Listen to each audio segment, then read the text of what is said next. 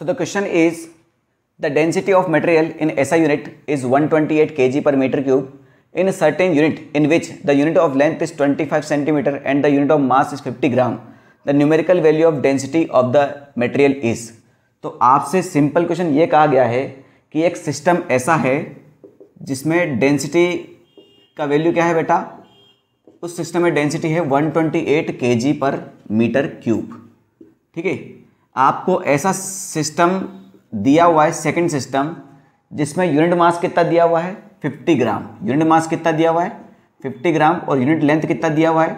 25 centimetre तो इस second system में इसकी न्यूमेरिकल वैल्यू क्या होगी? न्यूमेरिकल वैल्यू का मतलब क्या होता है? जो भी फ़िज़िकल क्वांटिटी होती है, किसी फ़िज़िकल क्वांटिटी को हम न्यूमेरिकल वैल्यू इनटू यूनिट की फॉर्म में डिनोट करते हैं। जैसे यहाँ पर लिखा हुआ है साफ़ साफ़ तो इसका फ़र्स्ट सिस्टम में न्यूमेरिकल वैल्यू कितना है? 128 और यूनिट कितना है के पर मीटर क्यूब।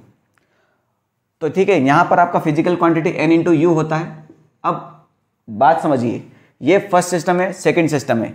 फ़र्स्ट सिस्टम से सेकेंड सिस्टम में जब मैं जाता हूँ तो मेरा न्यूमेरिकल वैल्यू चेंज होगा, क्योंकि मेरा यूनिट चेंज हो रहा है। बात समझ में आई? मगर मेरा फ़िज़िकल क्वांटिटी चेंज नहीं होता है। फ़िज़िकल क्वांटिटी और डेंसिटी रहेगा तो मैं इसको N one U one is equal to N two U two के बराबर लिख सकता हूँ। अरे, ऐसा समझ लो। कि पाँच मीटर इज़ इक्वल टू कितना हो जाएगा? पाँच सौ सेंटीमीटर हुआ ना? तो एन वन यू वन यही आपका एन टू और यू टू जब यूनिट चेंज होता है तो न्यूमेरिकल वैल्यू और यूनिट भी चेंज हो जाती है। बात समझ में आ गई? तो आपको सेकंड सिस्टम में न्यूमेरिकल वैल्यू पता करना है। यानी N two is equal to हो जाएगा N one divide by U one divide by U two अब मैंने आपसे यहाँ पर एक चीज़ बात कही यूनिट मास और यूनिट लेंथ यहाँ पर सेकंड सिस्टम में यूनिट मास कितना है? पचास ग्राम। और यहाँ यूनिट लेंथ कितना है?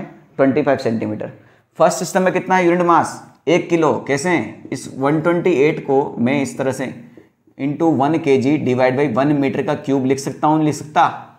यानी फ़र्स्ट सिस्टम में यूनिट मास कितना है? वन के जी और यूनिट यूनिट लेंथ कितना है? वन मीटर अब समझो बात को. जैसे आप टेंथ क्लास में थे तो आपके ग्राफ के क्वेश्चन आते होंगे. अब ग्राफ के क्वेश्चन में मान लीजिए एक्स की लंबाई 50 सेंटीमीटर आ गई. तो आप 50 सेंटीमीटर की लेंथ तो नहीं खींचते थे ना? आप क्या करते थे? आप एक डब्बा जो होता था, वन सेंटीमीटर को फाइव सेंटीमीटर या टेन सेंटीमीटर मान के ten, twenty, thirty, forty, fifty, पाँच ही, पाँच सेंटीमीटर के अंदर ही फिफ्टी सेंटीमीटर खींच देते थे। तो बस यही बात है। यहाँ पर जो यूनिट मास है, वो पचास ग्राम के बराबर है और यहाँ जो यूनिट लेंथ है, वो ट्वेंटी फाइव सेंटीमीटर के बराबर है। तो भैया, इससे आपका आंसर जो है क्लियर हो जाएगा। कोई बड़ी बात नहीं है। यू वन की जगह हम क्या लिखेंगे? उसका डायमेंशन लिखेंगे। यूनिट का मतलब डायमेंशन ही लिखते हैं।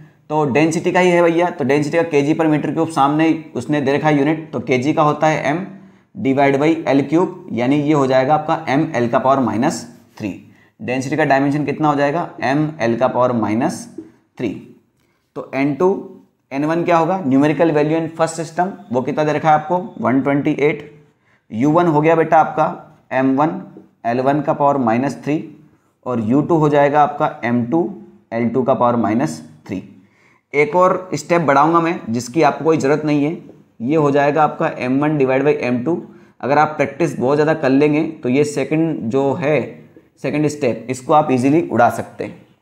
अब एक और बात ध्यान में रखो L one divide by L का पावर माइनस थ्री है। तो क्या मैं इसको L two divide by L का पावर थ्री लिख सकता हूँ? सिंपल एलजेब्रा है माइनस हटाते हैं, ये टर्म जो है रिवर्स हो जाएगा। सिंपल सी बात है। अब इस चीज़ को हम पढ़ते पढ़ते इसकी वैल्यू रखेंगे। ये हो जाएगा 128 m1 है मास इन फ़र्स्ट सिस्टम तो मास इन फ़र्स्ट सिस्टम कितना है बेटा आपका? वन के और मास इन सेकेंड सिस्टम मतलब unit mass in second system और unit mass in first system ये इनका असली मीनिंग होता है। तो unit mass in second system कितना है बेटा? 50 gram. Unit length in second system वो है 25 सेंटीमीटर और unit length in first system, वो है वन मीटर। वन मीटर तो इसको वन मीटर लिख देते हैं। इसका पावर कितना है बेटा? थ्री है, इसको मत भूल जाना बस। तो ये हो गया वन ट्वेंटी एट। एक किलोग्राम में होता है थाउज़ेंड ग्राम, और ये होता है पचास ग्राम। ट्वेंटी फाइव सेंटीमीटर, और एक सेंटीमीटर में, एक मीटर में होता है सौ सेंटीमीटर। इसका भी पावर थ्री है। ये ग्राम से ग्राम गया, ये सेंटीमीटर सेंटीमीटर गया। पच्चीस से सौ जाएगा बेटा चार बार, और ये एक ज़ीरो से एक ज़ीरो खत्म। पाँच से सौ जाएगा बीस बार। ठीक है?